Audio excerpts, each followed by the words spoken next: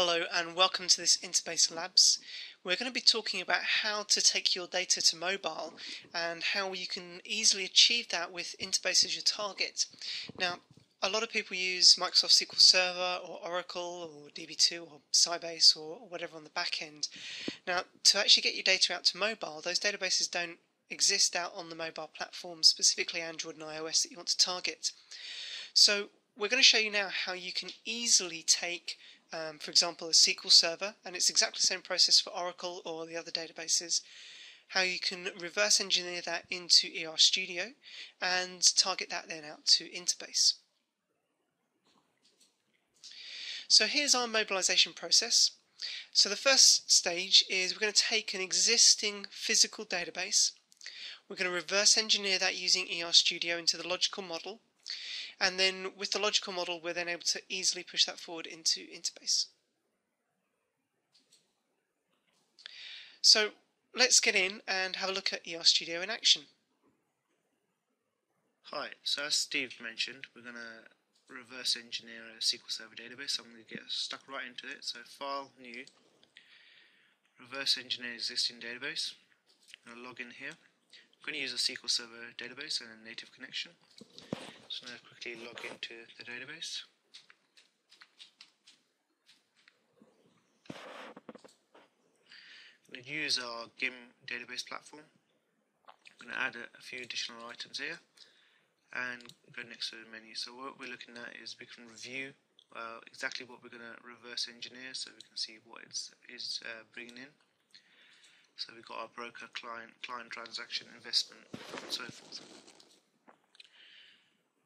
Some of these options um, can be used depending on the, the type of database. So, for instance, if you had an SAP database and the the, uh, the relationships are handled by the application, uh, then you can infer those relationships from primary keys and foreign keys and so forth. To use the, dictionary functionality, it's important to infer the domain, so it will create a domain for each column. So this is great for reuse and standardization. I'm going to leave the uh, the diagram layer options as is. The orthogonal uh, one is the, the best one for performance. Leave the rest of the settings the same and, and just click through.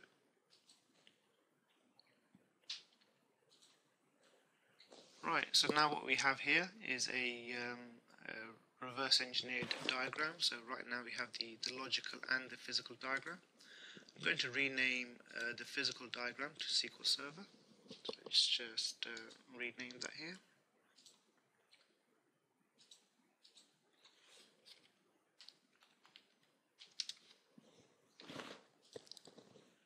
And, and from here now what we're going to do is we're going to create a, uh, a forward engineered interbase database. So what we'll do is we'll start with our logical diagram, right click, and we select the generate uh, physical model. We're going to choose the correct database platform here, so it's the uh, Interbase XE3. Go ahead and give it the same name.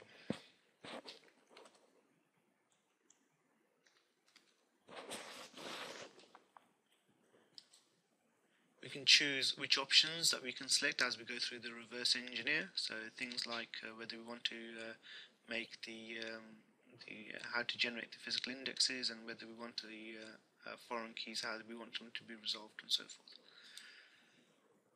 So click through this. Now some of this, um, some of these settings can be used in terms of if you had some submodels in the the logical diagram, you had some text box and shapes, you could also include those in the physical diagram, but with the physical diagram it tends to be mainly physicalized, so we'll, we'll, we'll bypass some of those options.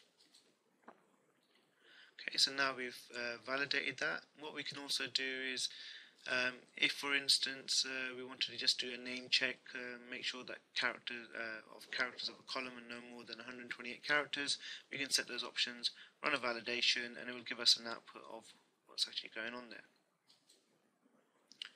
So now what we have is a physical um, model of Interbase. The next step here is now to generate that DDL. So again, right clicking, we're going to do generate database. This time we're going to create a script. Again, we can change the various options. You may have different design standards depending on how you operate. Uh, you can have uh, the, um, the, constraints as um, alters instead of generating the constraint. Um, you know, these options you can navigate through and, and determine what's best for you. So we're going to leave these as is again. As you change the options, you can view the SQL, so you can preview those as, as you step through. Let's go ahead and, and finish that up. And here we have, if I just zoom into this, we have the, uh, the correct uh, SQL statements that we can use to uh, run in our uh, interbase session. Great, thanks Mohammed. So now we have our script for our new database. Let's go and save this out. Just go File, Save As, and we can call this whatever we want here. Uh, I've just got one that's already in place. So uh, we're now ready to take this script and apply it onto a new blank database so we've got the same data structures in readiness for the data to be moved in. So we're just going to move into our VM now. Okay, so here I have my script. So first thing, let's go into IB console and let's create a new database. So I'm going to go create this at C data and let's call this um, my new DB. And as we create the database, we can go ahead and make sure that we have embedded user authentication, which then allows us to use encryption, which is obviously very important if we want to have our encrypted database on mobile. And um, we're then able to, to run through connecting and follow the steps for creating the encrypted database. So this enables us to set up a system database SO um, password, uh, establish the encryption password, and also set up backup encryption keys as well. So I'm just going to call this SOS DSO. Obviously, you choose something a lot more secure. Uh, encryption password, I'm just going to use secret password.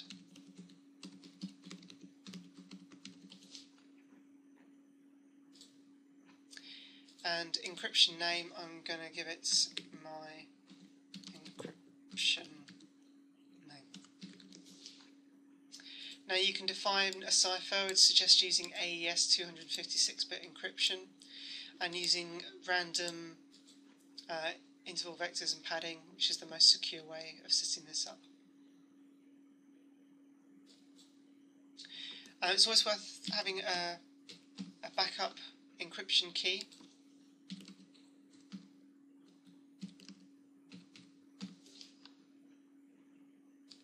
And once we've got those set up, we now have an encrypted database that we can then go and load into that we can load our SQL script into. So let's just go and edit this, copy that all in. Or you could just go here, um, file, load, um, you could load a, query up from file actually, load script. But all we need to do now is just execute. So great, now we're done. Let's just open this up full and have a look at the tables that we have created.